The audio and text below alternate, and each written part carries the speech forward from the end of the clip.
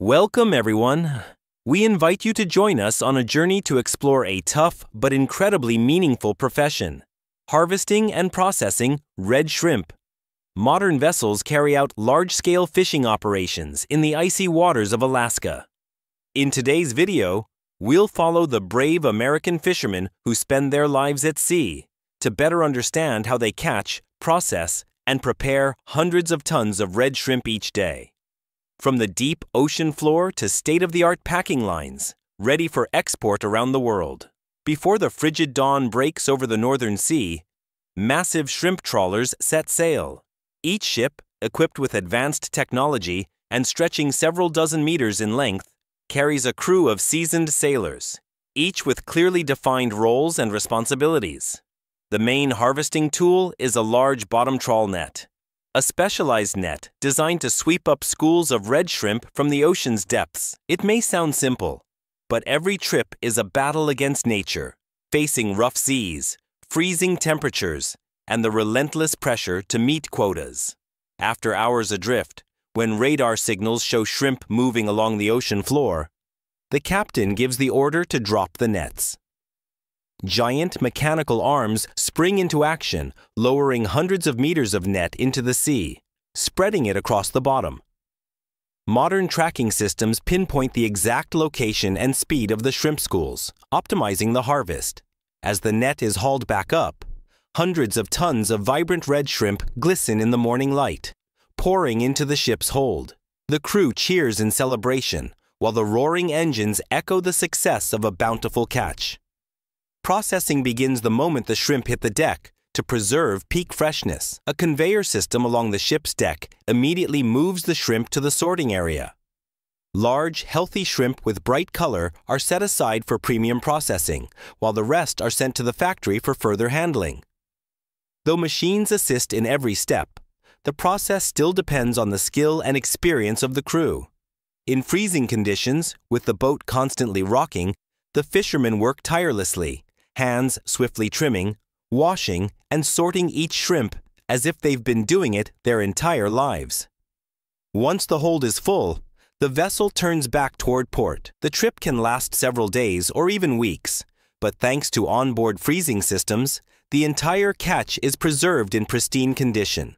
When the ship docks, hundreds of tons of shrimp are quickly transported to nearby processing plants, marking the start of a new phase in the journey where the most advanced seafood production lines begin their work. At the factory, each crate of red shrimp is placed on a large conveyor system and undergoes high pressure washing to remove impurities and sand. Next, a combination of color and size sensors ensures perfect sorting accuracy. Shrimp that meet strict quality standards are sent to a rapid freezing area, a technique that locks in freshness and the signature snap of shrimp meat within minutes. In another section, skilled workers operate like a well oiled machine, peeling shells, removing heads, or slicing shrimp according to custom orders from all over the globe. We may not see the sweat, the sleepless nights, or the cracked hands working in freezing warehouses, but when we see those glistening red shrimp, we can truly feel the value of labor.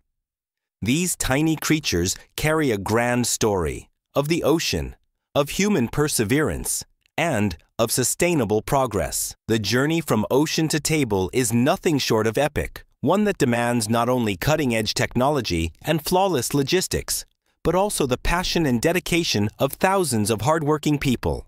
Every day, the ships set out in the dark and the factory lights come on, together forming a disciplined, synchronized rhythm built on responsibility and hard work.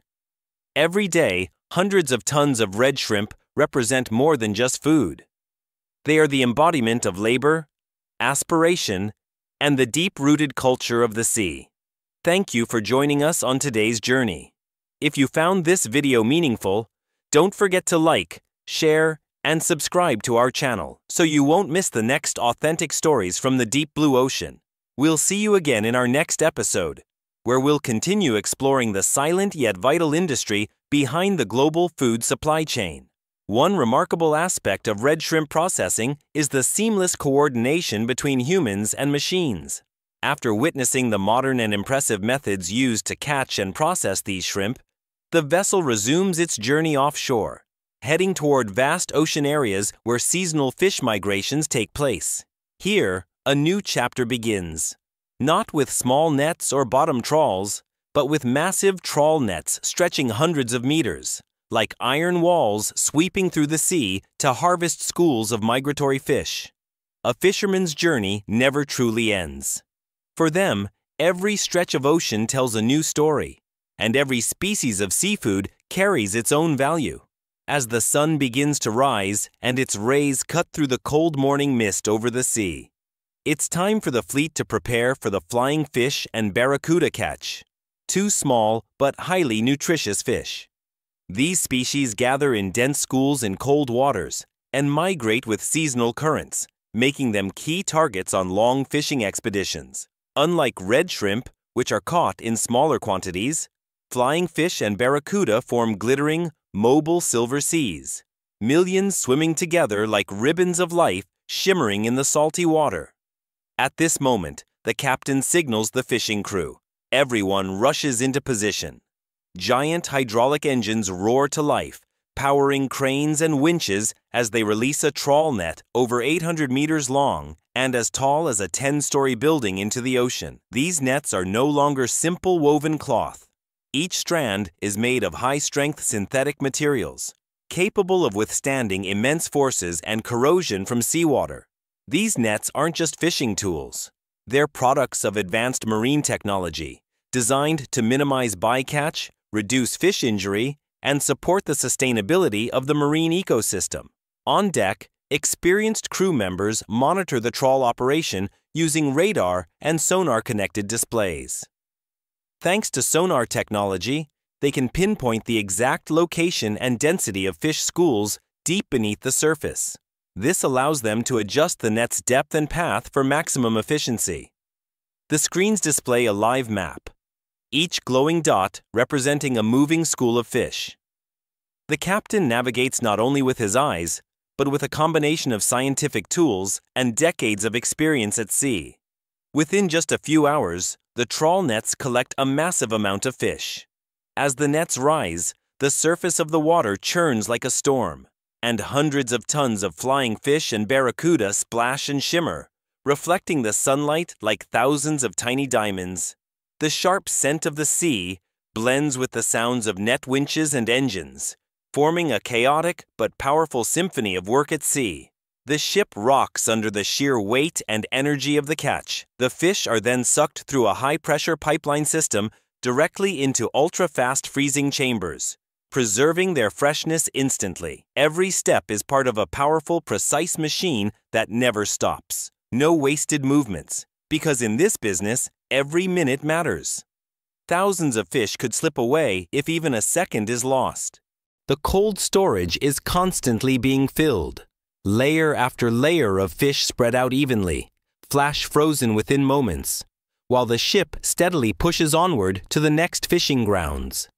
It's a seamless fusion of human labor and high technology, where hunting instincts merge with machine intelligence, creating a dynamic rhythm beneath the ocean's surface. The engine's low hum echoes through the depths, and another net is cast into the sea. Hundreds of tons of fish from the first haul are offloaded, rinsed, inspected, and prepared for the next round. On board, the crew works in perfect harmony, moving with a rhythm born of experience. Like musicians performing a silent symphony, there's no need to shout or give orders. Each person knows their role, mastering every detail through storms and hundreds of voyages at sea. With each haul, in addition to flying fish or barracuda, there are sometimes sardines, mackerel, or squid. Unexpected gifts from the deep. Excitement runs high as cheers break out across the deck, cutting through the morning chill. Some sing as they haul in the nets. Others share jokes while working, creating an atmosphere that's both urgent and heartwarming. In the solitude of the sea, the waves are their only constant companion, and camaraderie is the most precious comfort, warming them against the cold. The flying fish, sleek with long wing like fins, are sorted and moved into automatic washers. High pressure water jets remove dirt, blood, and debris, leaving behind shimmering silver bodies like polished arrows.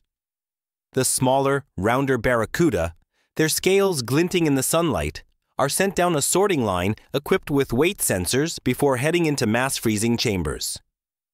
Each batch, weighing hundreds of kilos, is packaged to meet export standards. On board, vacuum packing and freezing systems run continuously at 40 DC.